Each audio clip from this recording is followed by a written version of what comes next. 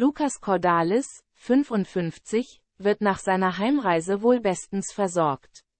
Momentan kämpft der Musiker noch um die Krone im Dschungelcamp. Dort machen ihm nicht nur die reduzierte Essenszufuhr und das tropische Klima zu schaffen, sondern unter anderem auch der Sexentzug im Camp, wie er schon vor einigen Tagen preisgab.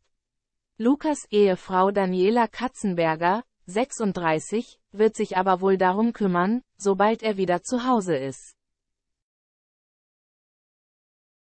Die Camper bekamen liebe Briefe von ihren Angehörigen.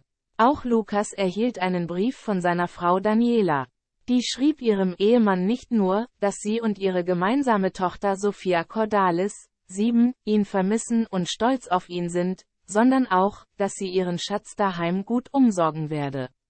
Wenn du nach Hause kommst, kümmere ich mich erstmal um die verloren gegangenen Kilos. Und danach um die griechische Cannelloni, schrieb die Blondine. Lukas zeigte sich von der Nachricht sehr berührt und richtete süße Worte an seine Familie. Schatz, ich liebe dich. Euch liebe ich am meisten und vermisse euch total, und an meinen kleinen Schatz. Du bist für mich das Wichtigste auf der Welt, und ich denke jeden Tag an dich. Tag und Nacht, meinte der 55-Jährige.